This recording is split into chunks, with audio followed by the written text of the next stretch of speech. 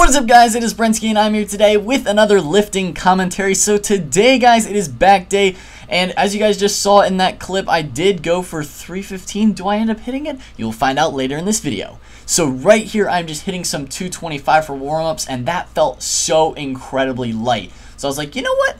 Let's bump it up to 275. I think today may be the special day for that 315 and 275 also felt pretty solid. Definitely heavy, but felt solid. So guys, I'm going to go ahead and play the clip raw. Here it goes.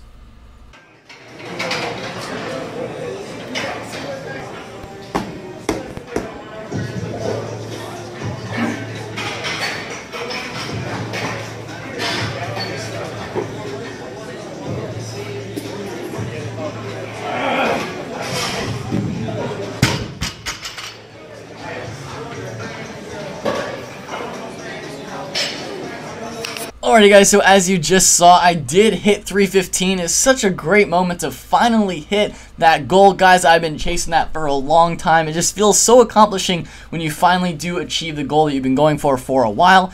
So guys, then after that, I just did some sub-maximal deadlift work at 225 for 6 reps.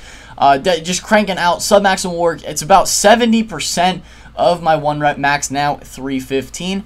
So then after the deadlifts, Zach and I move into some mid-back rows. I'm getting in some good rep work. I believe we did this for 8 to 10 reps. I remember doing this for about 50 pounds. You know, just it's good to hit the back from different angles. I definitely always do deadlifts first because they are the most exhausting, that's for sure. And then after that, you know, just moving into some more rep work uh, hitting the mid-back rows. Now, we did not actually get a chance to do any other back work um, for the rest of this workout. A, because I was super, like, like done after that 315 and it, I you know I did the 225s but after that uh, time was also limited because the gym was going to be closing. We did get there pretty late but as you can see right here just doing some bicepious curls and right here I actually look at Zach with the CT Fletcher face. I threw the picture up in the corner for you guys.